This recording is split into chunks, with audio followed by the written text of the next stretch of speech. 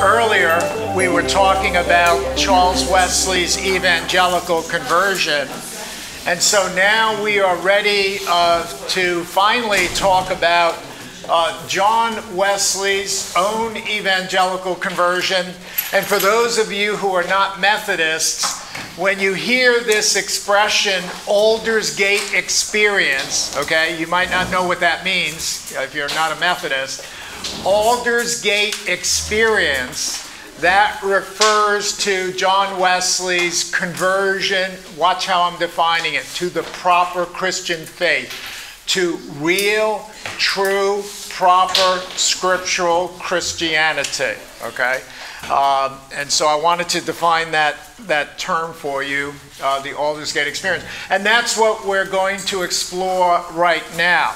Uh, and we'll do it by looking in many instances at Wesley's own words. And so, on the date, someone asked about dates the other day. What dates do you need to know? Here's one. Here's a date for you.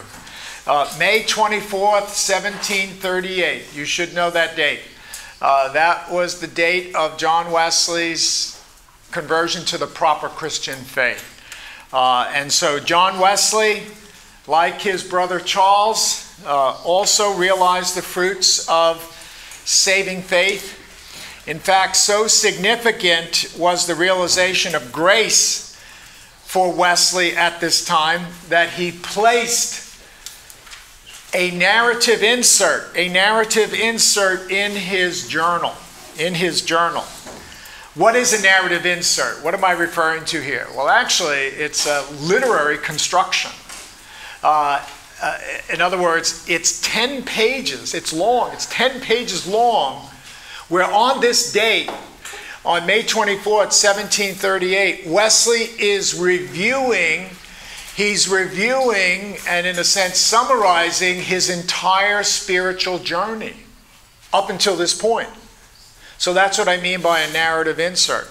Now, uh, let me just tell you, let me let you know that in broader Methodism, there are some people who like to discount or reduce or even reject the significance of John Wesley's Aldersgate experience. They do that. They do it even today.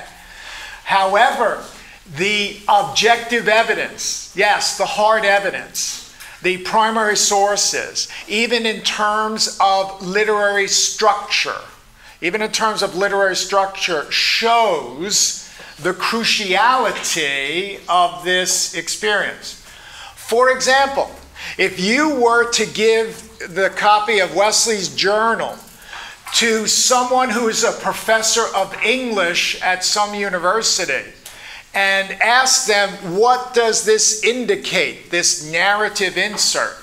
They will tell you, even if they know nothing about religion, they will tell you that it suggests cruciality, that this is a very important date. But there are much more evidences than this that we can bring to bear to show that something important happened on May 24, 1738. And once again, you know, I try to be a careful scholar here. I always run with the evidence, not what people are saying about the evidence, because that uh, is not always a good window on Wesley's life and thought.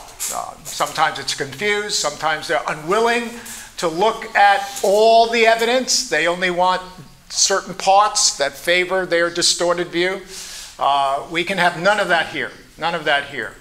Uh, we must speak truth to one another and speak the truth in love. Okay?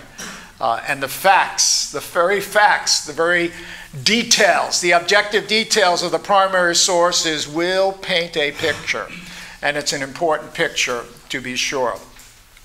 So, Wesley appends this narrative insert uh, to his journal account, lengthy, 10 pages long, reviewing his whole spiritual journey uh, up until this point.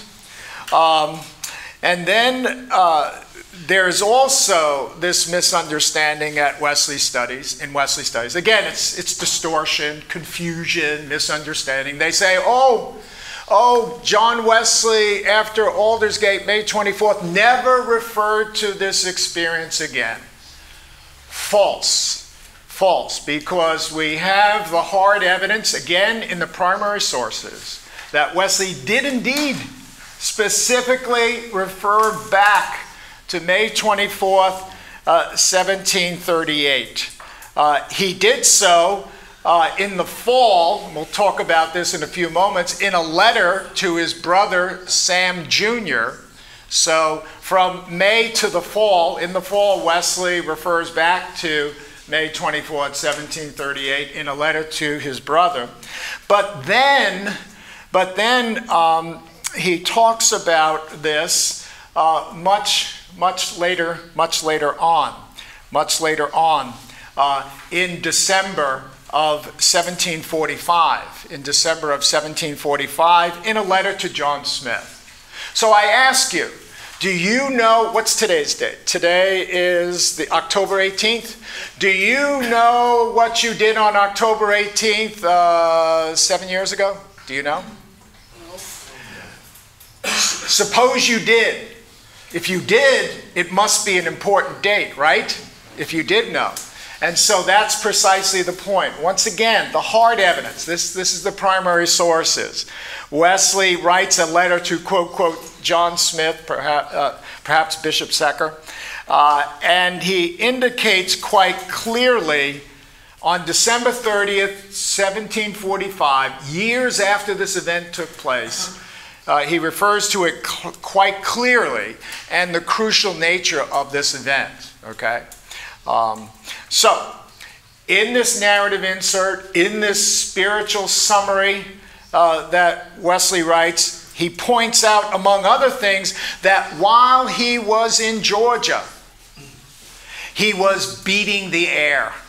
He was ignorant, ignorant of the righteousness which comes from Christ, with the result that he sought to establish his own righteousness or justification under the law.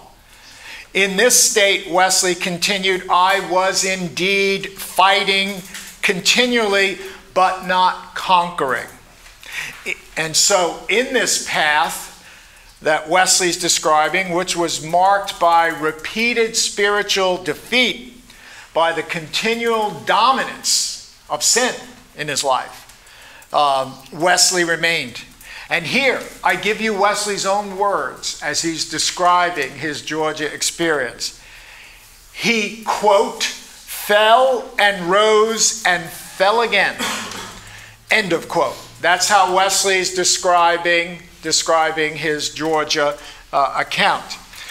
Wesley, of course, intuitively understood that such a condition, you know, this rising and falling again repeatedly, is not the proper Christian faith. It is not.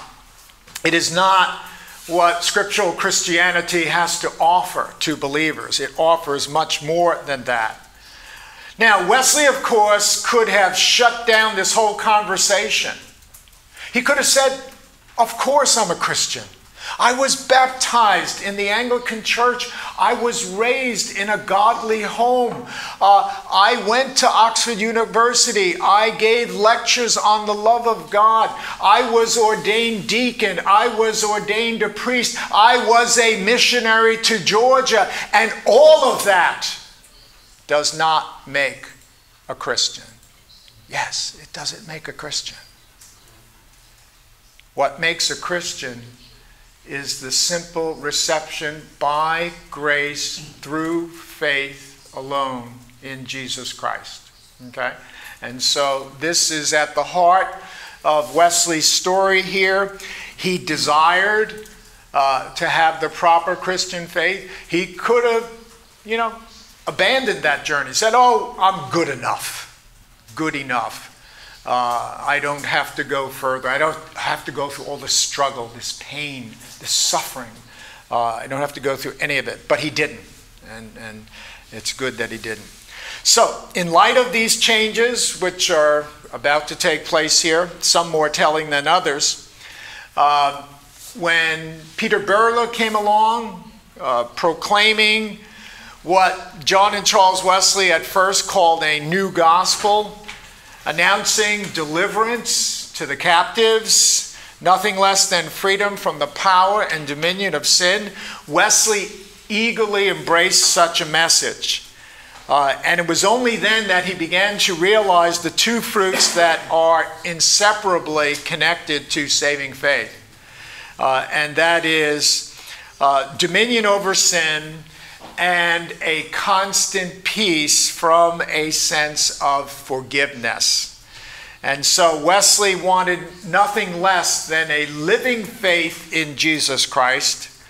Um, he wanted a living faith which was, to use his own words, quote, inseparable from a sense of pardon for all past and freedom from all present sins. And so, um, 20th century biographers, and even now into the 21st century, uh, when they do acknowledge that Aldersgate was actually something, they simply say that Aldersgate was the time of John Wesley's assurance, when he was assured that he was a child of God. In other words, when he received the witness of the Holy Spirit to his spirit that he was a child of God. Now, no one is doubting that assurance is very much a part of what Aldersgate is. But I am going to argue, and I think I can argue convincingly, once again, in light of the hard evidence, primary sources, Wesley's own words, that much more happened at Aldersgate than simply assurance. Because if, if assurance is all that happened at Aldersgate, that means that John Wesley was what in Georgia? It means he was justified and born of God. It means he was justified and born of God, and he's simply lacking the witness of the Spirit uh, to, to that. Okay? And that's what some argue. There are many who argue that. My reply to you, if you argue that, if, if Wesley was justified and born of God, while in Georgia, if that is what constitutes real, true, proper scriptural Christianity, heaven help us. Heaven help us, really. Because that is not a, a life to be desired. This rising and falling, rising only to fall again. That kind of ongoing slavery and bondage. As I said earlier, Christ died for more than to leave people in the bondages of which they are ashamed. Okay? And, and Wesley understood that. He wanted that kind of grace in his life, that kind of faith that sets the captive free. Jesus Christ, in other words, this is a way of glorifying Christ. Jesus Christ is a real Redeemer not a phony redeemer, not a redeemer who leaves the people in slavery, in bondage, this sort of thing. Okay? So, uh, in his narrative insert, uh, Wesley relates that in the days just prior to May 24th, 1738, his spirit was marked, quote, by strange indifference, dullness, and coldness and unusually frequent relapses into sin. End of quote. And so the contrast then, which, which was to follow shortly, by means of Wesley's own Aldersgate narrative, is, is something that is drawn by John Wesley himself, because he's, he's showing you the contrast here. He's showing you the contrast here. Okay, now I am actually going to just simply cite Wesley's own words, his own words, primary evidence, uh, objective evidence that we can look at and assess theologically to come to understanding in terms of John Wesley's Aldersgate experience. So I'll give you his own words Then I'm going to come back at you and ask you some questions about it and see if you understand all that is here in this paragraph that I'm going to read to you now. So, quote In the evening, I went very unwillingly to a society in Aldersgate Street where one was reading Luther's preface to the epistle to the Romans about a quarter before nine, while he was describing the change which God works in the heart through faith in Christ. I felt my heart strangely warmed. I felt I did trust in Christ, Christ alone for salvation and an assurance was given me that he had taken away my sins, even mine, and saved me from the law of sin and death. Those are Wesley's own words. He is describing what was taking place there in this society meeting on May 24th, 1738. What I just read you is rich theologically. I want to pick it apart right now and show you what is here theologically. Um, first of all, we'll just uh, state the obvious. Yes, assurance is here. There's no doubt. Because look at the language. An assurance was given me. So Wesley is specifically referring to assurance here. An assurance was given me. No one's doubting that. No one's doubting that. This is the time when John Wesley receives the direct witness of the Holy Spirit to his spirit that he is a child of God. And, you know, as Paul talked about in Romans chapter 8. Okay? But is that the only thing that's here theologically? Is that the only thing that's here theologically? The answer is no. No. What else is here? Ah, what else is here? Let me let me cite the language here. Uh, that he, and who is he? He is Christ here. He had taken away my sins, even mine. What's that language descri- describing? What is that language describing? That he had taken away my sins, even mine. That is the language, the language of justification. That is the language of the reception of the forgiveness of sins. Remember that dialogue in Georgia between Spangenberg and John Wesley? And he Spangenberg asked Wesley about Jesus Christ and, and asked them specific asked him specifically, Do you know Christ? And he said, I know that he is the Savior of the world. He responded generally. Look what he's doing here. He's saying, uh, and he has taken away my sins, even, even mine. Uh, that is the language of justification. That is the language of the forgiveness of sins. If you fail to recognize it, you are missing something that is in the text. Okay? You're missing something that is clearly in this text. It is the language of justification and the forgiveness of sins. But then there's that there's something else here as well. Not simply assurance, not simply justification, but also the new birth. The language of regeneration. How so? Because after Wesley writes that uh, he had taken away my sins, even mine. Then he continues and states, and saved me from the law of sin and death. He saved me from the law of sin and death. Okay. What is that language describing? Well, it's describing regeneration, the new birth uh, freedom from the power and the dominion of sin, which is a mark of the new birth. Okay? So, what then do we have here in the Aldersgate narrative? We have not one things. See, that's the most common view in Wesley's studies today. They say, oh, yeah, this is just about assurance. Oh, of course Wesley was justified and born of God before Aldersgate. Of course he was.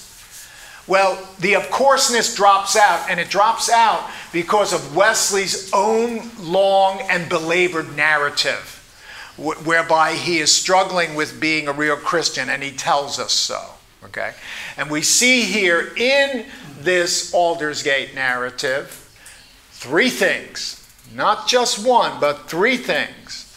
We see justification, the forgiveness of sins, we see regeneration, empowerment, freedom from the power, dominion of sin. We see assurance, uh, the direct witness of the Holy Spirit with our spirits that we are a child of God.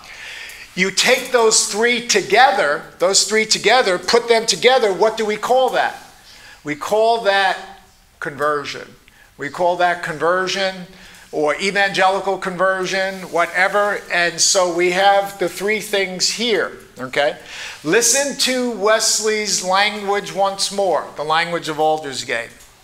I felt I did trust in Christ, Christ alone for salvation, and an assurance was given me that he had taken away my sins, even mine, and saved me from the law of sin and death. So, observe once again that Wesley's own Aldersgate narrative does not simply highlight assurance, but sees it in conjunction with the liberty of having been redeemed from the law of sin and death. As a matter of fact, in the days immediately following his Aldersgate experience, Wesley, while not uh, neglecting the importance of assurance, underscored the theme of spiritual victory. The theme of spiritual victory in a way that he had not done before. He, he writes, quote, and herein I found the difference uh, between this and my former state chiefly consisted. I was striving, yea, fighting with all my might under the law as well as under grace. But then I was sometimes, if not often, conquered. Now I was always conqueror. And, and then on May 25th, the following day, Wesley writes, But this I know, I have now peace with God. I sin not today. And on May 29th, a few days later, uh, Wesley, Wesley professed, quote, I have constant peace, not one uneasy thought, and I have freedom from sin, not one unholy desire. Okay. Now, let me just say something briefly here in this context, although We'll talk about it later on in the course. Um, uh, though many good things happened here at the Aldersgate experience, uh, all was not well. And so Wesley made some changes, some changes in his theology later on, especially in terms of the issue of assurance. And then, secondly, how he understood the parsing out of sin. Uh, in other words, freedom from the guilt of sin. In justification, freedom from the power of sin in terms of regeneration, and freedom from the being of sin. See, we haven't talked much about that. Freedom from the being of sin or the carnal nature or inbred sin. We can use those terms synonymously. That would be a third kind of liberty. And it's going to take Wesley a little time to sort that out very clearly theologically. And so we're not trying to offer the impression that, you know, all is well with Aldersgate because Wesley is going to have to, he still has some theological confusions that are in place, some of them mediated to him by the Moravians. And he's going to have to sort that out, uh, and he will. It'll take time.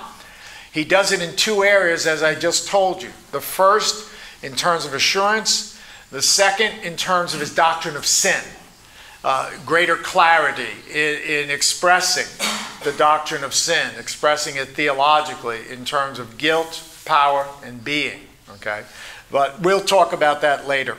Um, well, so John Wesley has undergone this evangelical conversion, um, and he gave evidence of this newfound faith when he delivered what Albert Outler, uh, the, the, great Wesley scholar, uh, called his Evangelical Manifesto, which he delivered before St. Mary's. St. Mary's is the church in Oxford. He delivered it in St. Mary's on his, and the title of his sermon was Salvation by Faith. Salvation by faith. And it took Ephesians 2 8 as its text. Uh, by grace are ye saved through faith. Um, and in that sermon, Wesley considers, he considers three key questions. The first question is what faith it is through which we are saved. Notice that first question. Uh, what faith it is through which we are saved. Because we should know in this course already, do we not, that not all faith, not all faith is saving faith. Okay? Uh, faith generally in God, not specifically focused on Jesus Christ, is not saving faith. Okay? For example. Uh, and so Wesley is going to raise in this sermon, Salvation by Faith, this first question what faith it is through which we are saved. Okay? Um, and that, of course, is an important question.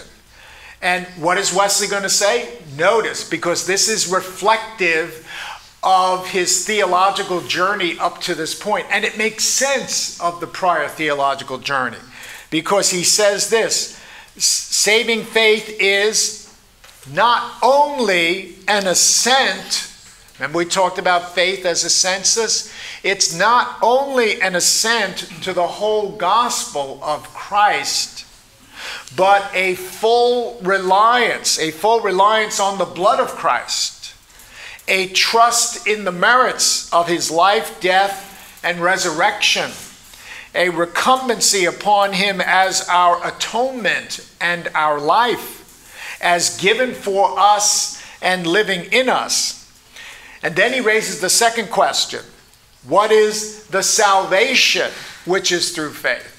See, that's an important question for us, I think. I think this is very important for us today. You know, to ask the question, what is salvation? Because I know in the, in the context, in the ecclesiastical context in which I move, people define salvation differently. They define it very differently. And they don't define it in the way in accordance with Scripture. They don't. They don't. And so we need to be aware of that. We need to be aware of that, that even in the church today, people are talking about salvation, but they don't mean the greatest story that's ever been told or ever could be told because some other narrative has displaced the gospel, much like carbon monoxide can displace oxygen in the blood and the patient dies. You understand what I'm saying? So it's important to raise this question what is salvation? We have to ask the basic questions in the church, they're important. And of this question, Wesley writes, it is a present, present salvation, that it entails nothing less than redemption from sin here and now, here and now. In other words, redemption is not simply something that is future, you know, but it is something that is present. It is something present, something that happens now. We are redeemed today. Uh, and Wesley writes, quote, through faith that is in him, meaning Christ, they are saved both from the guilt and from the power of it. Okay? And so uh, Wesley uh, elaborates here. He elaborates here. This then is the salvation which is through faith, even in the present world.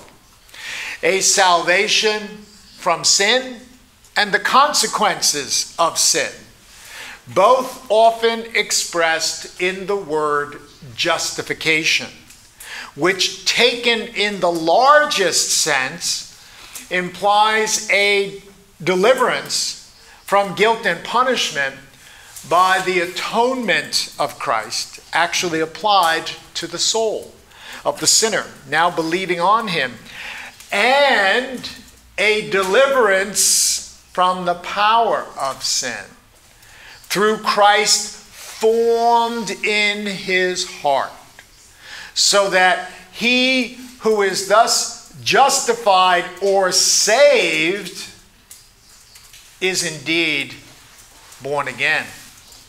Okay, watch this. Watch this now for another misunderstanding out there in Wesley Studies land today.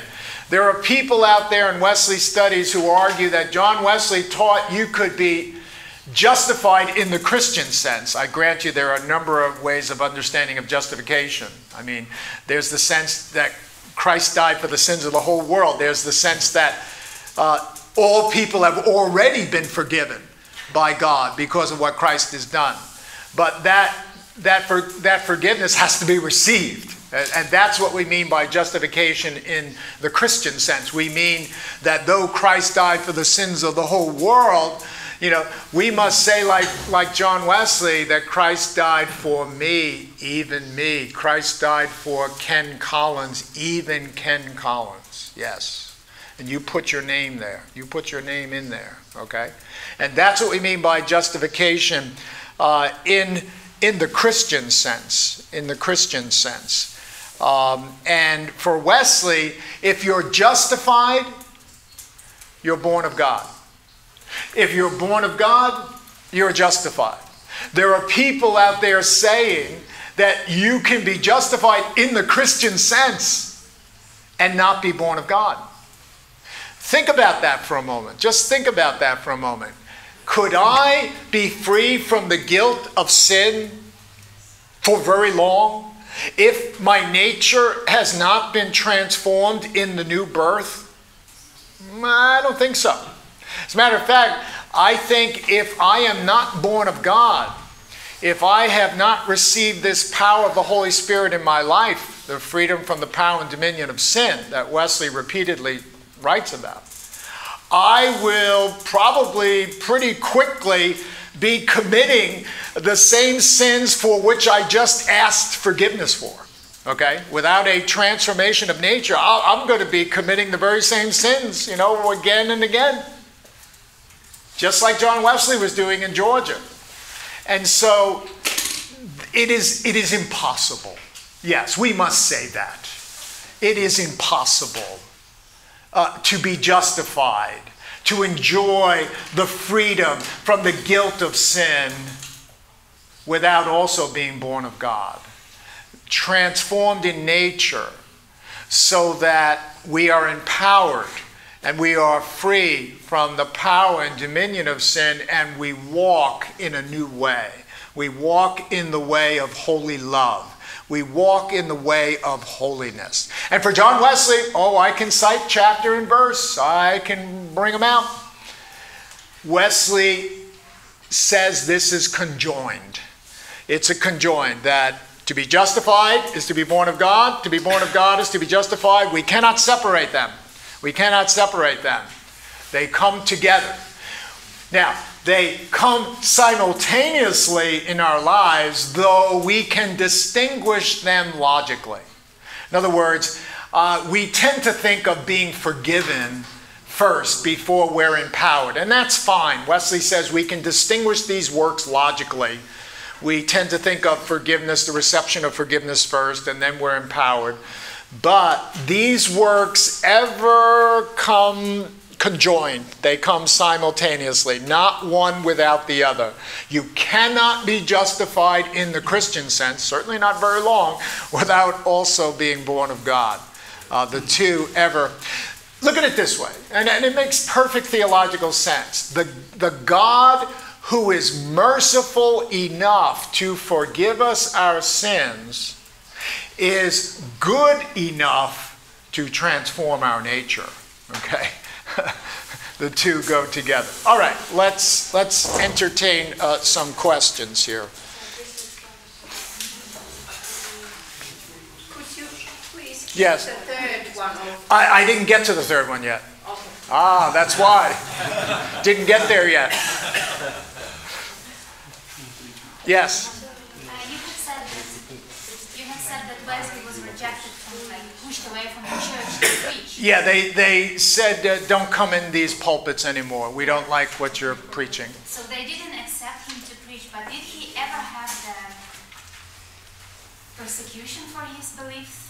Beliefs or like Oh, yes, John Wesley was persecuted uh, by, by many, uh, both in the church and outside the church. Uh, there were clergymen, Anglican clergymen, who did not like Methodism at all. Uh, and they were ongoingly critical of the Wesleys, engaged in ongoing evil speaking. Uh, Wesley saw this issue as so, so important that he wrote a separate sermon, a separate sermon on the cure of evil speaking, uh, because it's sinful um, uh, and it's not loving our neighbor as we should. And Wesley was, in, many, in, in many instances, unfairly criticized. Uh, by those in the church and also those beyond the church. And Wesley encountered mobs, mobs of people uh, who would be inspired by others to rail against the Methodists. Uh, uh, there would be physical violence against them at times. Um, uh, at, times, uh, Wesley should have been fearing for his life, uh, though he had calm in the midst of the mob. Uh, so there were those kinds of things going on as well. Uh, the Wesleys were criticized by bishops, Anglican bishops. Uh, they were not encouraged, they were discouraged. Uh, so, yes, in a number of ways, uh, and we could cite numerous instances, actually, John Wesley uh, was suffering, but that's par for the course. Because we already know, because Jesus told us that if we are faithful, if we are a disciple of Jesus Christ, we will, we will suffer. You know, if they, if they persecuted Christ the Master, they will persecute us. Jesus already told us that. And so uh, suffering uh, is a thing that we have to expect in being faithful to Jesus Christ. Uh, that the fact that we are and continue to walk in the light, uh, that will invite ongoing criticism, persecution, and I'm sure you can think of many instances where this happens even today. Yeah. Yes. Э, благодаря э, ну, как бы наследию, можно сказать, Лютера, там, э, Джона Уэсли, ну, для нас сейчас вот в наших церквях, ну, в основном это, это основная идея, которую ну, все проповедуют и все слышат в основном в самом начале, о том, что мы спасаемся благодатью через веру.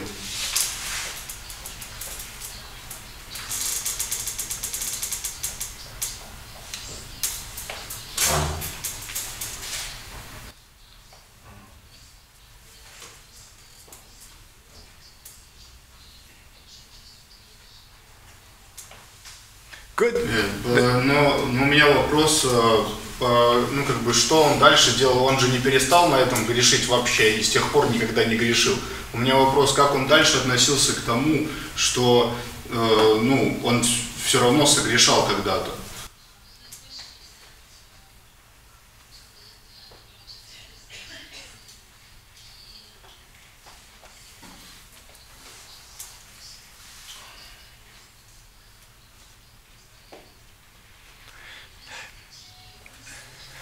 Yeah, I mean, you're basically asking the question now in terms of regeneration, which is in respect to freedom from the power and dominion of sin.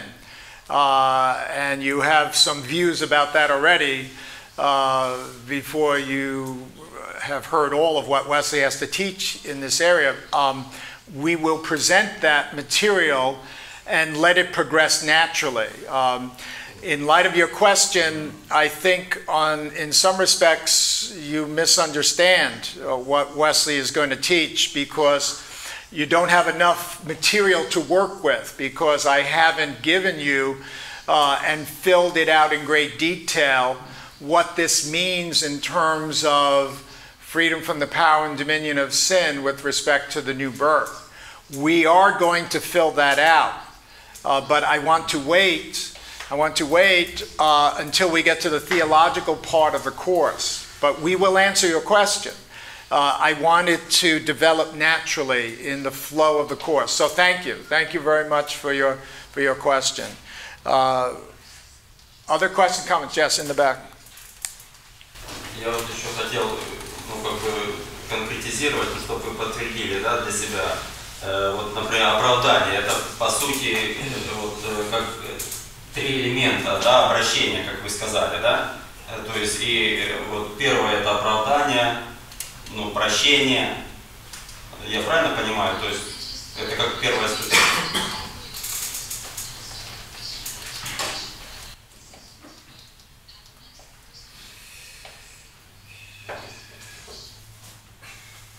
Yeah, the three elements that we were talking about earlier relates to conversion. Conversion. So conversion has three parts. Justification, which is the first, forgiveness of sins. Second, the new birth, which is regeneration, okay? Then thirdly, we mentioned assurance, the direct witness of the Holy Spirit with our spirit. So it's not regeneration that has three parts, it's conversion that has three aspects, three aspects. Um, and the three aspects that make up conversion include justification, regeneration, and assurance. Yes. Yeah. Okay, other, other questions? We have time for one more? kes need moraallased olid? Well, I missed that. What? venlaste. Who were Moravians? Oh, who are the Moravians? Yes, that's a good question. Um, the Moravians uh, historically uh, go back um, uh, even before the time of the Reformation in the 16th century. Um, the United, the, the, their uh, United Brethren, these, this group, and it goes back and it has connections um, prior to the Reformation. So I, I hear from time to time some people referring to the Unitas Fratrum, you know, uh, another name uh, to refer to the Moravians, uh, United Brethren, as, um, you know, uh, the first Protestants or something like that, um, which may not theologically be technically accurate, but they are a group that go back, uh, you know, far prior to Methodists, the Methodists for sure, uh, and they have a very important um, uh, theological heritage, uh, uh, and there is some connection uh, with them in terms of Jan Hus, um, the Czech preacher, the Czech preacher, and the followers of Jan Hus. And Jan Hus was executed uh, at the Council of Constance in 1415. So you see how far back this goes. Uh, prior to the time of the Reformation. Jan Hus, although, although he was promised safe passage, they said you could come to the Council of Constance and no, no harm will come to you. And then at the Council of Constance, they executed him. You ask yourself the question well, how'd that happen? Uh, they said, we don't have to keep faith with heretics. Uh, and so they broke their word. And by the way, by the way, John Wesley knew about all that and took that uh, as a very, very negative thing uh, that you broke your word, a very negative thing. But at any rate, coming from the followers of Jan Hus were the Taborites and the Utraquists. These are two movements that, that come out of the Hussites, you know, Jan Hus, and it's from out of that the followers of Jan Hus that come the Moravians. So you see that they could trace their origins back to the 15th century prior to the time of the Reformation. Now, the Moravians were very influenced by Luther and, and the Reformation in the 16th century. And that's what they're passing along to John Wesley, especially Peter Böhler, as I, as I taught earlier. So, good question.